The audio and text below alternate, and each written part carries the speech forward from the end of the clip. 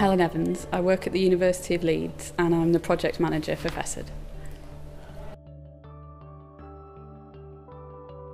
Um, I think FESID's a really interesting project. I think it's got some really grand ambitions and I think that um, the calibre of the people that are participating in the project uh, will hope, well, should ensure that it's successful. I think it's a very promising project.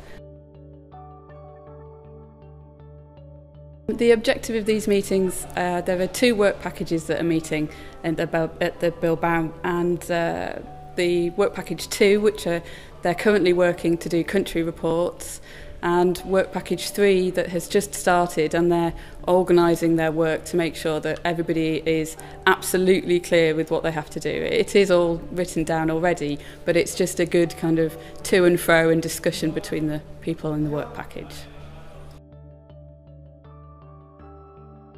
Everybody on the project has some involvement in Work Package 2 or Work Package 3. Um, so pretty much, uh, well, the main players in the project really in terms of the people that are leading the teams at the institutions. Um, not quite everybody, all of the teams from all of the institutions could make it, but uh, the vast majority of the people on the project.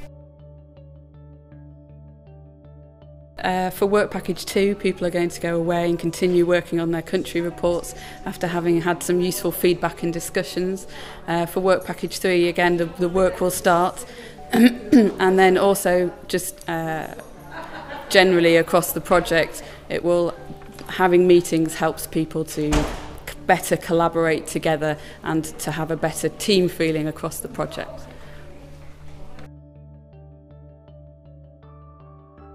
Uh, well, I hope Professor realises that all its own hopes and ambitions and dreams, um, and that it can have the impact that it wants to in terms of policy agenda.